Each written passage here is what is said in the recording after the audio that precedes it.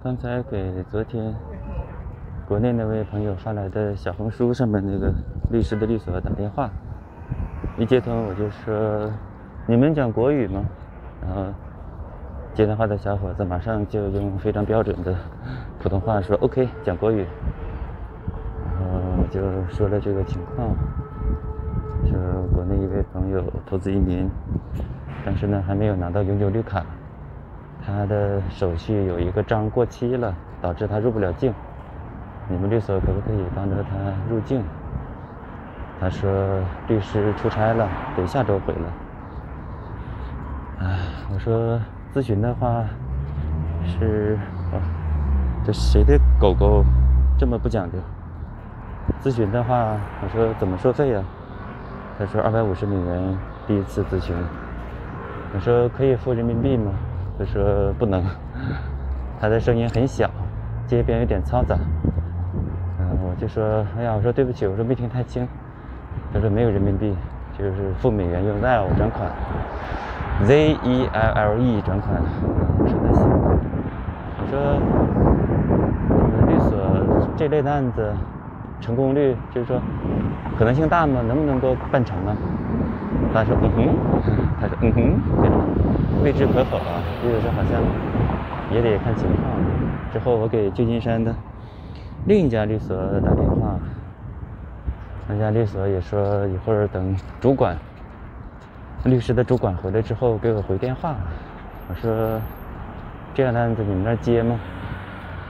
呃，旧金山这边律所说也不好说，得具体探讨一下，跟律师主管探讨一下之后。再确定是否接这个案子，让我等着他们的电话。嗯，就帮着国内的这位朋友问完了这么一个情况。大体上就我觉得是可行的，是可以入境的啊。我昨天跟那位朋友说，你看，你投了真金白银五十万美元砸过来了，也在美国买了房买了车，在这边纳税交保险。那肯定是可以入境的呀！我说你可不可以试着去美国驻驻北京这个驻中国北京这个大使馆到那跟签证官申请一下约一下。后来他回复说他们是去广州领事馆办的，他们投资移民要去广州，说那边而且还不太好约吧。嗯，但是我总觉得如果他有渠道能够跟。美国驻北京呀，驻广州啊，这些签证官、这些官员取得联系，跟他们陈情，讲明理由，他们内部通融一下，是不是有类似的这样的可以允许呀？我觉得，人家都投资了，买房了，买车了，还不让人家入境了吗？入境都不让入吗？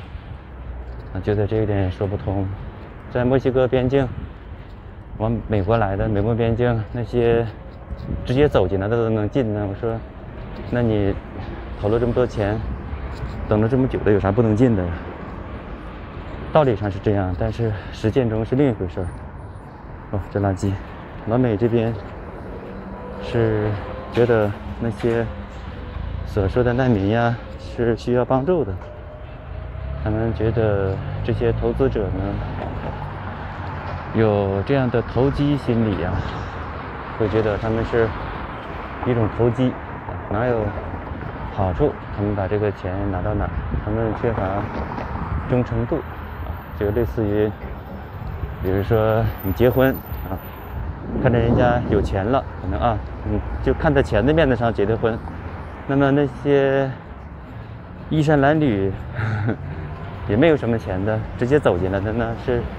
真正的发自内心的想要决心，在这片热土上 生根发芽、扎根儿，对吧？所以这是老美的逻辑。所以在现实社会里边，就是有些人拿着很多钱来，他反而拿身份没有那些身无分文的人拿得快。嗯，这就是美国的现状，跟咱们想象的不太一样，跟咱们。华人的一些逻辑不太相通，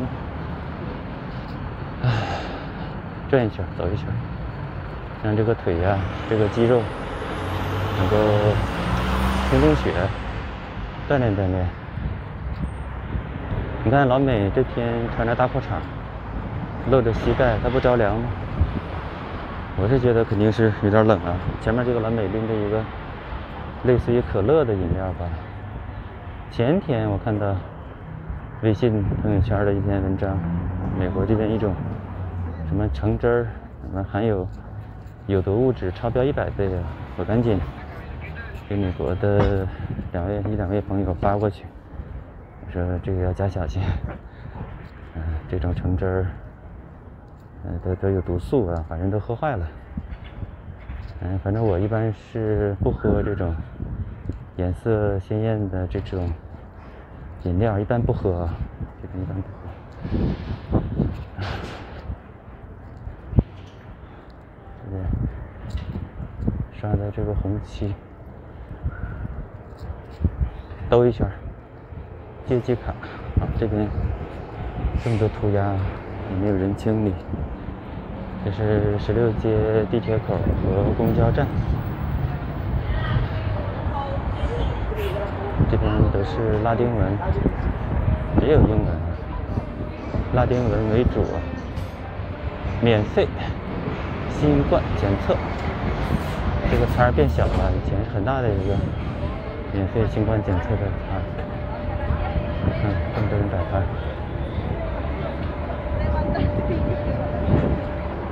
地上都是瓶瓶罐罐，瓶瓶罐罐。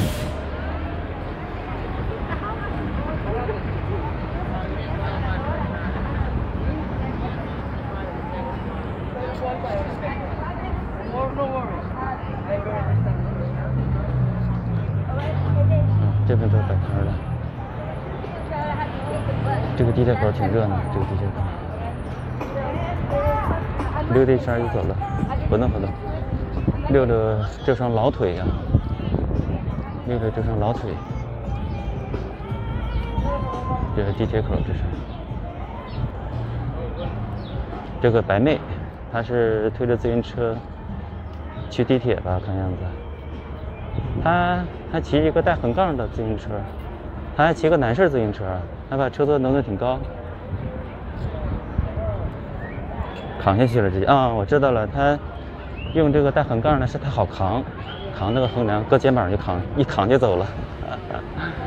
哎，白妹呀，老美这边的很多女人，这些白妹还是很彪悍的啊，是身材很结实，骨架比较大啊，一点都没有纤细，一点都没有小鸟依人的样子，直接一扛，自行车扛起来了。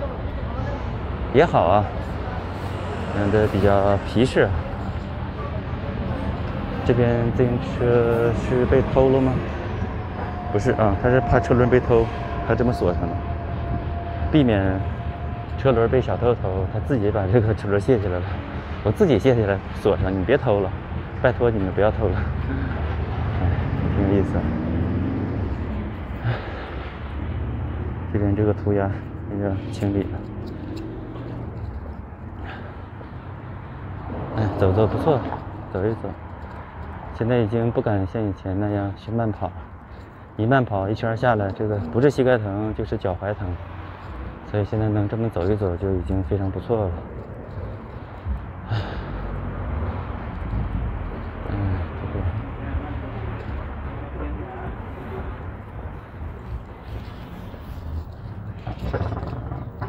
这个美眉在收摊呢，准备。拉丁小妹妹，他们都是黑头发，拉丁人，个子不高，黑头发，也吃猪肉，跟华人、汉族人饮食习惯差不多，身材呢也有相对苗条的。这边有些朋友留言说旧金山的重建。跟国内没法比，对呀，这边比较陈旧，而且更新的比较慢。这个小孩孩，这个举在头顶的小孩孩啊，这个辫子扎了那么多小揪揪，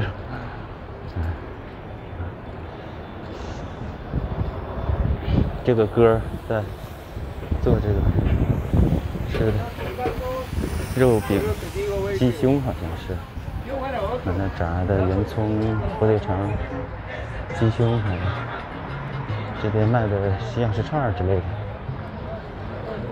它这个密审区比较平坦，可以这样走一走。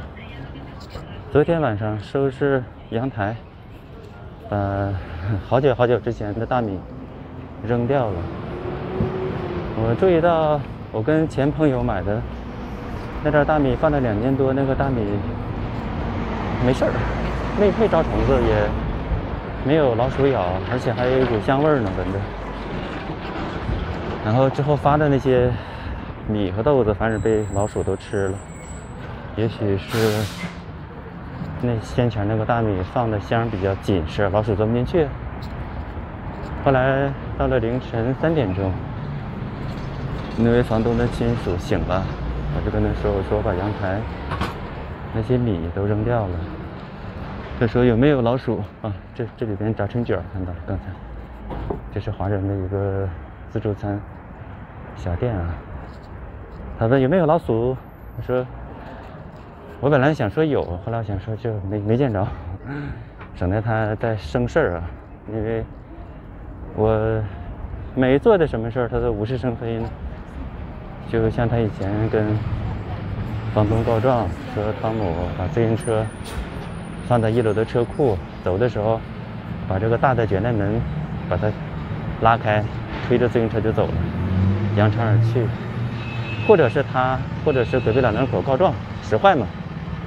后来房东害怕了，就把车库锁了，不让我放自行车，然后把自行车放在走廊里。我没有那样做，他都生事儿呢，无事生非呢。我如果说有老鼠的话，它就更生飞了，对吧？它就更添油加醋了。所以我就只能说没有，没办法。哎，我我还给他看了一下那个大米那个袋儿，的确是，看那个大米的袋儿呢是没没有破，反正清理了就行了。还需要找。吸尘器的充电器，给它充电，吸吸阳台那些碎屑、那些米粒儿啊、老鼠的便便呀，呃，吸干净。然后把冰箱里的之前的鸡蛋呀、奶酪啊，百分之百全扔掉，因为离开的这两个月冰箱一直插着电，所以鸡蛋好像没怎么坏。那个菜呀，那种青菜呀，全化成黑水了，直接。都扔掉了。昨天扔了不少垃圾，还有我在两个多月之前去夏威夷的那天，早晨煮的这个菠萝，还有煮的这个红薯，煮熟了没顾得上吃，没时间了，赶不上飞机了。煮熟了，瞅着他们 就走了。结果两个月了，他们也都招虫子了，然后也都烂掉了，把它们给扔了。然后，那个菠萝是切成片儿，把皮儿去掉了，切成片儿，在盆里煮的。把那个盆里刷干净，又放上水给它烧开，这样的杀杀菌吧。把那盆涮出来。那个锅里煮的是红薯，变成黑薯了的。然后我也是把它刷干净之后，放了水给它煮开，这样把锅杀杀菌嘛，把这个倒出来了。之后昨天把。在唐人街，一位朋友送给我的什么是猪耳朵什么呀？卤肉，叫卤肉吧，好像是猪耳朵，把它用那个锅煮了一下，挑着看着还不是太吓人的部分吃掉了，哎，那些瘦的地方呀什么的吃掉了，又把邻居给我的面包通着吃了。夏威夷那位朋友还说呢，我看着你拿那个盆。拿那个挺大的盆，用它来腾那么多面包圈，bagel，b a g e l，他觉得很好笑。他说这个 bagel 面包圈都是烤的呀，你怎么还蒸呢？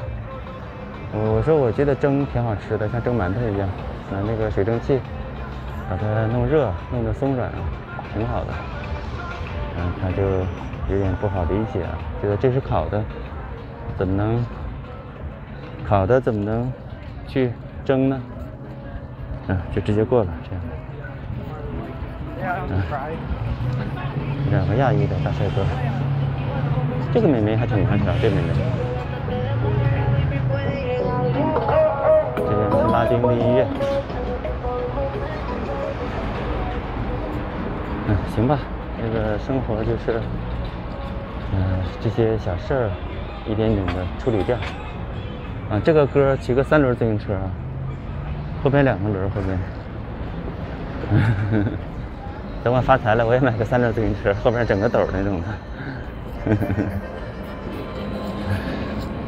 自行车我觉得在旧金山还是挺好的，推着走，骑着走，也不用担心罚单，也不用担心停车费，也不用担心 保险。啊，这个妹儿穿一个红裤子，这个妹儿。这个哥怎么单词帮呢？你的同伙呢？黑哥，这是黑哥。哎，走走，现在后背有点出汗了，还不错。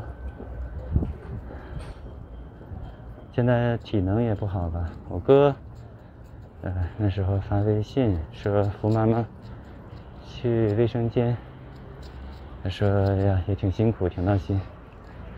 我大嫂身体情绪也不太好，她也没有办法回去陪我大嫂。唉，反正我在家的时候呢，就是父母一生病，我就比较着急，我就是往往是义无反顾的冲上去陪床啊什么的，看着我哥给我妈打那个早餐，去医院的地下室的食堂。用塑料盒装着的粥，一次性塑料盒装的热粥，还有塑料袋装的饭啊、馒头什么的，我就心里有点揪心。我跟大宝说：“我说你去陪床，你把家里的那个两个不锈钢的保温桶拿着，大的小的都拿着，然后把爸爸在拼多多给你买的那个玻璃钢饭盒也拿几个，还有那个不锈钢的饭勺拿几个，拿到那儿给奶奶打饭，这样就能保温。”那种双层不锈钢的保温桶，能保温也比较没有毒素。嗯，我也跟我哥说，我说妈早晨就手里掐着馒头这样吃，一个是不卫生，另外一个是太干容易便秘。我说得给他买一点黄瓜呀、西红柿啊什么的，就就近有个市场嘛。嗯，以前二宝出生的时候就是在那个医院出生的嘛，当时我买了好多东西。嗯，同一个病房的，同一个产房的，那个陪床的说：“哎呀，你来过日子来了。”嗯，还买了这个钟表，看时间什么的，全这个买了好多东西啊。我是觉得不管在哪儿都要精心的照顾好饮食，别让自己受委屈吧，尽量的把自己照顾好一点。嗯，买了不少东西，什么水桶啊，甚至买了拖布，自己买的拖布，拖那个病房什么的。后来我把我那个雪瓶器，那种比较最好用那种雪瓶器，拍照片发给我哥，说就买这种雪瓶器，再买点什么黄瓜什么的，西红柿，就是说可以雪瓶给妈妈吃。后来我看着我哥拍视频的时候，哥拍小视频。有个塑料盆，然后有那么一些黄瓜皮儿，还有这样一个血血热器，给大家看。我说啊，我说辛苦了，因为有的时候对老人的照顾，对自己的照顾，都是需要非常用心，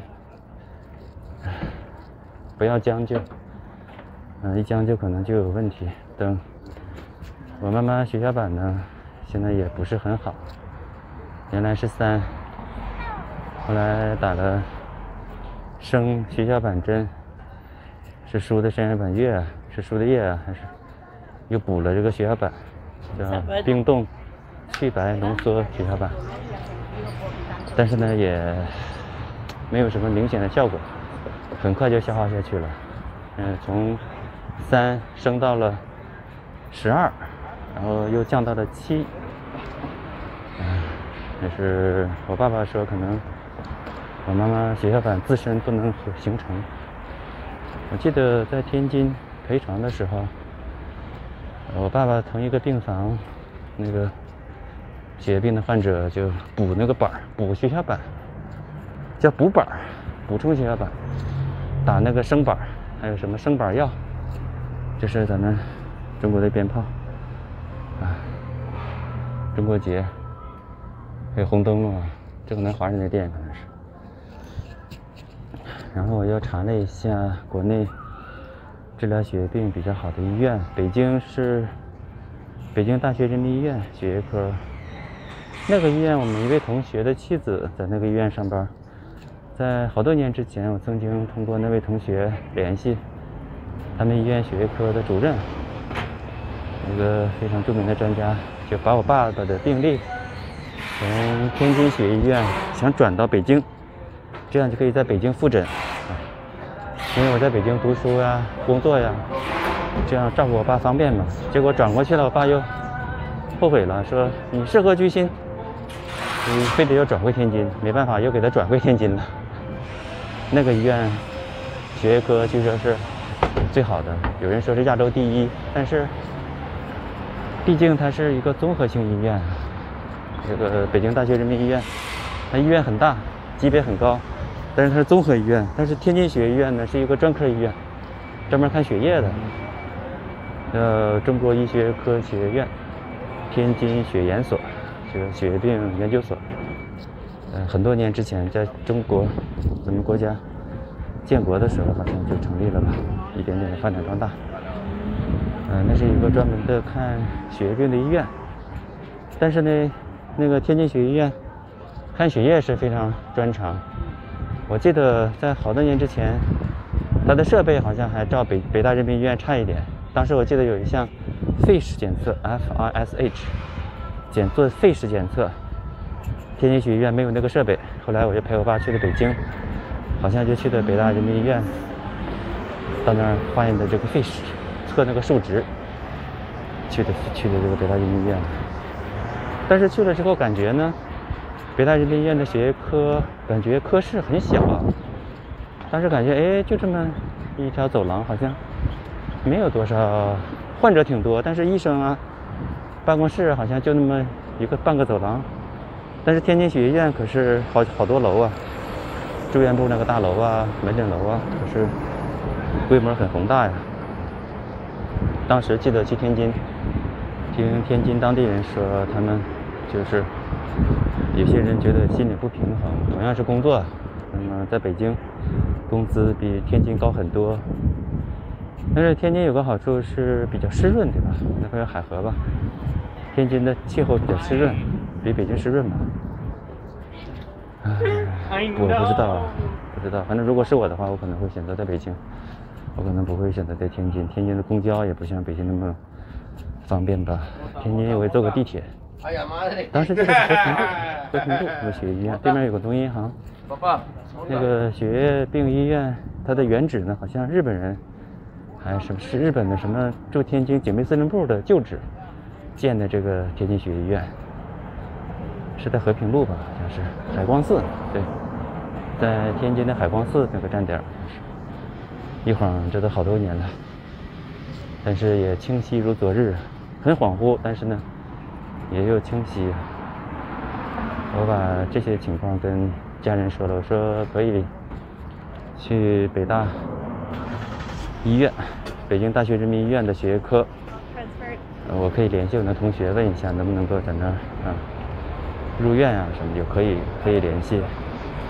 等北京的朋友呢说已经放开了，可以随便去北京看病了，可以了。嗯，但是呢，也最好事先跟医院联系好，避免他不不收，对吧？因为毕竟好多人想去北京看病嘛。呃，在当地医院，我妈妈住院期间，医生说可以打一种什么药，自费的，医保不给报，一针一千块钱吧。你需要打是二十针十几针。我哥问我姐是不是打，我姐我说打，这个时候必须打。这时候续病的时候必须打，不管多少钱都打。具体什么药我也没太留意啊。呃，是，所以人活着，像我这样在路上走，其实是很昂贵的，这个成本是很高的成本。人能正常的呼吸，正常的吃喝拉撒睡，就是很不容易的。你想啊，有的人为了能睡个好觉，得花多少钱才能把这个觉睡着？有的人又费了多大的周折，才把这个便便排出去，是不，大美女？大美女，嗯，大美女非得露个肚脐儿，这样的显示她的妖娆，嗯，对吧？所以呢，有的时候人们比说有钱人没钱人，可能会比兜里的钞票啊，或者住的房子、车。当然，这个不是心灵鸡汤啊，我是觉得，只要你能正常的呼吸。正常的吃睡，正常的对吧？没有失眠，没有便秘，没有这种心蹦蹦跳，没有这种头晕眼花，那就阿弥陀佛了。当然有点小小的不舒服，比如说像我感觉前列腺那块有点闷闷的不舒服，想着哎呀是不是前列腺结石恶化了，嗯 长菜花了，有时候也想也担心，但是想着还顺其自然吧。北京那位朋友他也说啊，我跟我的。子女也说了啊，这是华人的这个快餐，炒饭什么的。他说我跟着这个孩子说了，如果我得特别重的病，就不要给我插什么插管啊，什么切胸啊、切气管、呼吸机啊。他说就不用给我上。我说对呀，我说就我的人生体验，我以前发烧特别严重的时候，曾经有濒死体验啊。人在离开人世的时候是很祥和的。我说当时我听到了《小白杨》这首歌，悠扬的歌声。听到了，有好多人在齐刷刷的走步，然后脑海中有好多图片啪啪啪的闪啊，而且也看到了我的爸爸妈妈微笑着喊我的名字，当时的光线很柔和，爸爸妈妈很年轻，嗯，现在还记得那个笑脸，我当时应该是躺在一个襁褓里，婴儿床里，妈妈笑着啊，他们都非常年轻，啊，特别好的，特别祥和的一种。场景啊，所以说，人有的时候在去世的时候，在他的意识逐渐丧失的时候，他会见到自己的已经非常挚爱的亲人，对吧？甚至一些已经离开人世的人呢，他也好像能见到了。这一点是很多人不知道的。所以，在一个人离开人世的时候，在他有这种非常好的体验的时候，在他感觉生疼的时候呢，你去给他打强心针。你把他的气管切开，给他插呼吸机，可能对他是一种折磨。他那个时候应该是清醒的，半清醒的，他能听到一些东西。唉，我应该把我那个手机拿来修一下了。我那个手机出问题了，手机死掉了，手机死掉了，我应该拿出来修一下。在这领一个手机，结果呢，到了夏威夷几天就报废了，开不了机。信号倒是还是比较强烈，但是开不了机了，废掉了。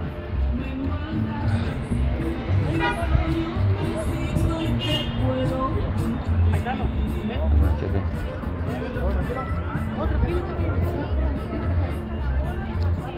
啊，把手机拿出来，呃，弄换一个新的，或者让他把手机卡给他调成。可以在其他手机用的。我前几天在易贝买的新手机收到了，手机皮套也收到了，但是我还没有拆包。前几个月去夏威夷之前，那几个包裹也没拆，其中有不锈钢的保温饭盒，还有玻璃钢的饭盒，还有自行车的后架、后货架都没拆呢，没时间拆啊，每天一些事情追着，所以我要感谢那些不再联系我的人，非常感谢啊。有一些微信上的好友，我也是设成消息免打扰了，呃，有点抱歉啊，你们的留言我可能看不到了。如果我不回复呢，不是我故意不回复，是我看不到，因为每天这个消息太多了，一大堆消息，一大堆事情需要去处理。比如说帮着国内这位朋友问找律师啊，帮着他入境啊。比方说有些想申请绿卡的朋友找律师啊，还有一些了解美国这边好多情况，还有想买我自行车的。说你这个小黄卖吗？多少钱都行。后来我回复他，我说你在哪儿的？在旧金山吗？他说我在上海，可不可以托运？我就没回复。我想想，哎呀，太难了，太难了。我说这一个破自行车的报废的自行车的托运回去托运费，你还不如在上海买一个 好自行车呢。也许是放到博物馆，海外华人博物馆，也许是不知道。再见，拜拜，再见，拜拜。把那手机拿来去换一下。